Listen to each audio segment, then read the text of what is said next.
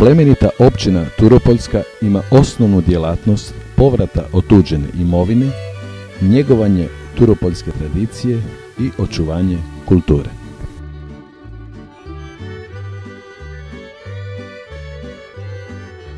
...1474. do 1479. u cilju obrane od Turaka, Turopoljci su izgradili grad Lukavec. Izgled grada Lukavca prikazan je poslije i prije restauracije. Turopoljci su grad Lukavec branili od turskog zuluma kao i raznih velikaša. Najčešće dobro koje su branili Turopoljci bila je šuma Turopoljski lug. Šuma je bila izvor građevnog materijala kao i osnova Turopoljskog svinjogojstva.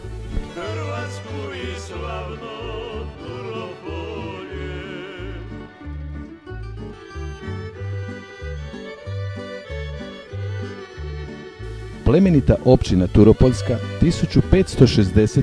donosi statut i uređuje se vladavina nasljedstva, tako da nikad posjet Turopoljaca ne može doći u tuđe ruke.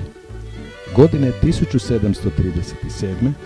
plemenita općina Turopoljska od kralja Karla III. dobiva općinski grb i pečat.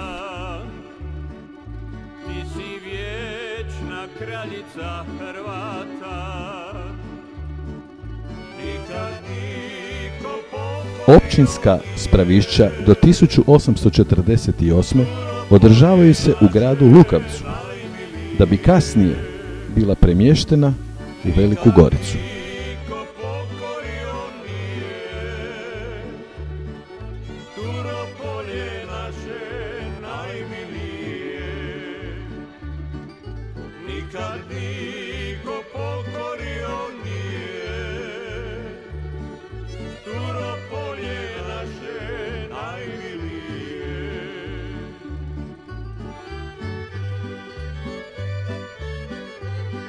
Djelatnost plemenite općine Turopoljske prekinuta je 1947. godine, da bi 7. srpnja 1992.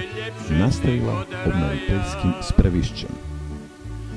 Prvi obnoviteljski župan plemenite općine Turopoljske bio je Zdravko plemeniti Lučić, a danas tu časnu dužnost obavlja Franjo plemeniti Kos.